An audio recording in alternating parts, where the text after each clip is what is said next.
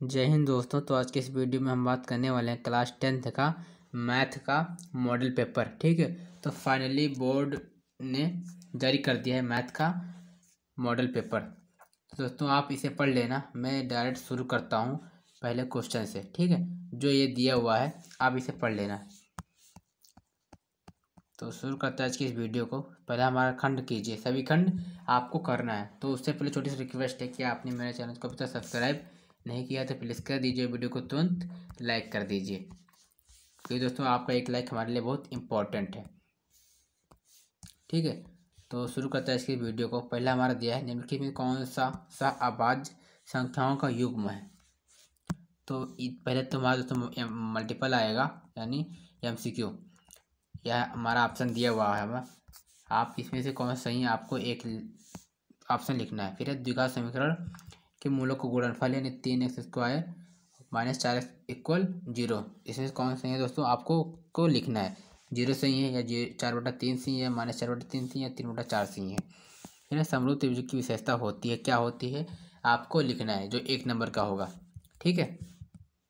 फिर कोस साठ और कोस तीस माइनस साइन साठ और साइन तीस का मान। आपको कोस साठ इंटू कोस तीस का मान लिख कर और माइनस साइन साठ का मान और साइन तीस का मान, इतना करके दोस्तों माइनस का कर देना जितना आएगा वो होगा।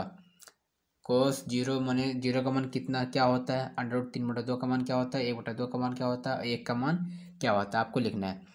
फिर इनकी में कौन केंद्रीय प्रवृत्ति की माप नहीं है? माध्य बहुला माध्यिका मानक विचलन। फिर है दो बिंदुओं के निर्देशांक। इतना इतना। इन बिंदुओं से बने एक रेखाखंड से के मध्य बिंदु के निर्देशांक होंगे। दोस्तों, ये जो ये है, ये एक नंबर का होगा, ठीक है? इन दो बिंदु के निर्देशांक माइनस आठ कामा ज़ीरो तथा ज़ीरो कामा आठ है, इन दो बिंदु इन बिंदुओं से बने रेखाखंड के मध्य बिंदु के निर्देशांक होंगे। यानी ऑप्शन दिया हुआ हमारा, कौन सा ही आपको लिखना है। फिर अब आ जाइए दूसरे खंड में, द्विघात समीकरण। टू एक्स स्क्वायर माइनस चार एक्स प्लस तीन बराबर ज़ीरो का वियुक्तर ज्ञात कीजिए और मूल भी प्रकृति ज्ञात कीजिए, जो एक नंबर का होगा। फिर यदि पंद्रह कोटे इक्वल आठ तो साइन और के का मान ज्ञात करना है। फिर यदि दो समरूप त्रिभुजों का क्षेत्रफल एक सौ इक्कीस वर्ग मीटर सेंटीमीटर और दो सौ नवासी वर्ग सेंटीमीटर तो इनकी संख्या भुजाओं के अनुपात बताइए, जो एक नंबर का होगा। ठीक है? फिर यदि किसी बटन, बंटन का माल सोलह और बहुलक तेरह है तो बंटन की माध्यिका ज्ञात करना है। अब आ जाइए सिद्ध कीजिए, जो दो नंबर का होगा। यानी अंडर रूट अपर में संख्या है तो क्यों है? तो आपको सिद्ध करना है। एक का मान ज्ञात कीजिए जिसके लिए निकाय a x plus two y equal two comma आठ x plus a y equal चार के अपरमुद रूप से अनेक खल हैं जो आपको दो नंबर के मिलेगा फिर आ जाइए गा में दिए गए चित्र में P S by S Q equal P T by T R है तथा कोड पी एस टी बराबर कोड पी आर क्यू है। तो सिद्ध कीजिए त्रिभुज पी क्यू आर एक समद्धि बाहु त्रिभुज है। दोस्तों, ये हमारा दिया है फिगर। ठीक है यह हमारा पी है यह हमारा यस है यह हमारा टी है यह हमारा क्यू यह हमारा आर है। फिर आ जाइए, एक चालीस सेंटीमीटर ऊँची शंकु के, छिन्नक के, वृत्ताकार सिरों की त्रिज्या अड़तीस सेंटीमीटर और आठ सेंटीमीटर तो शंकु के छिन्नक की तिरछी ऊंचाई ज्ञात कीजिए, जो कितना होगा, जितना नंबर का दो नंबर का होगा।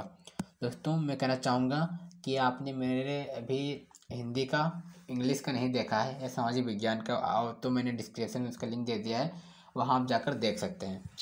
ठीक है, फिर आ जाइए सभी खंड कीजिए, अब चार में आ जाइए।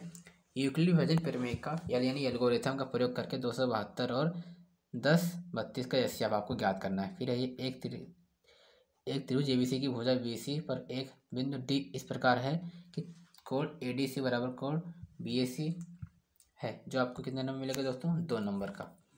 फिर आ जाइए गा में पाँच सेंटीमीटर लंबी रेखाखंड खींचिए और इसे दो अनुपात, तीन अनुपात में विभाजित कीजिए। दोनों भागों की माप लिखिए, जो दो नंबर का होगा। फिर है दोस्तों, यदि कोड थीटा बराबर सात बटा आठ तो वन प्लस साइन थीटा बटा वन प्लस कॉस थीटा। फिर दिया है वन माइनस साइन थीटा, फिर वन माइनस कॉस थीटा। का मान ज्ञात करना है जो दो नंबर के मिलेगा। फिर आ जाइए दो कर्मक धनात्मक फलन ज्ञात कीजिए, जिनके वर्गों का योग तीन सौ पैंसठ हो, जो चार नंबर का मिलेगा। दोस्तों, कितना? चार नंबर का। फिर आ जाइए, बिंदु माइनस चार कामा छः बिंदु ये माइनस छः कामा दस और बी तीन कामा माइनस आठ को जोड़ने वाली रेखाखंड के अनुपात में विभाजित करता है, जो चार नंबर का होगा। फिर त्रिज्या चार पॉइंट दो सेंटीमीटर वाले धातु के एक गोले का पिघलाकर त्रिज्या छः सेंटीमीटर वाले एक बेलन के रूप में ढाला जाता है। बेलन की ऊंचाई ज्ञात करनी है, जो चार नंबर का होगा। फिर आ जाइए गाँव में गाँव में निम्नलिखित साढ़े पैंतीस नगरों की साक्षरता दर प्रतिशत में दर्शाती है। तो इसका दोस्तों साक्षरता नगरों की संख्या यानी एक याद करनी यानी कितने नंबर का दोस्तों? ये चार नंबर का होगा। फिर आज छठे में दो संख्याओं का वर्गों का अंतर अस्सी एक सौ अस्सी है। छोटी संख्या का वर्ग, बड़ी संख्या का आठ गुना है। दो सौ नौ संख्या याद करनी है, चार नंबर का। फिर आ जाइए दी गई आकृति में छांकित क्षेत्र का क्षेत्रफल ज्ञात करना है और बी सी डी भोजा चौबीस सेंटीमीटर की एक वर्ग है। कितने नंबर का दोस्तों? चार नंबर का फिगर हमारा दिया ये। ठीक है? और दोस्तों, अगर इसका सोल्यूशन चाहते हैं तो आप कमेंट करना, मैं इसका सोल्यूशन बता दूँगा। मैं प्रोवाइड कर दूँगा। और लेकिन प्लीज़ चैनल को सब्सक्राइब कर लेना और अपने इस वीडियो को लाइक कर देना। फिर चार सेंटीमीटर त्रिज्या के एक वृत्त पर छः सेंटीमीटर त्रिज्या के एक संघ केंद्रीय वृत्त की किसी एक बिंदु से एक स्पर्श रेखा की रचना कीजिए और उसकी लंबाई मापिए, चार सेंटीमीटर दोस्तों, वीडियो को पूरा देखना। आपको ज़्यादा बेनिफिट मिलेगी। कहाँ से कैसा आता क्वेश्चन आपको ये पता चल जाएगा। फिर घा देखते हैं। स्कूल कक्षा में एक्स की इक्यावन लड़कियाँ हैं।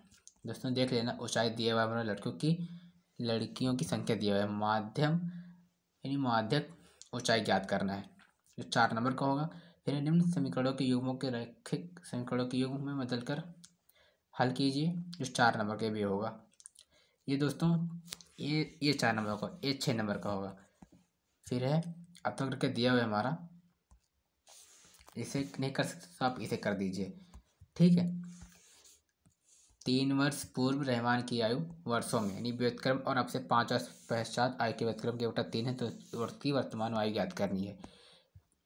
फिर है, एक बहुमंजिल भवन के शिखर के देखने पर एक आठ मीटर ऊँचे भवन के शिखर का ताल, तल से अनमन कोण क्रमशः तीस पैंतालीस बहुमंजिल भवन की ऊंचाई और दो भवनों के बीच की दूरी ज्ञात करनी है, जो छः नंबर का होगा।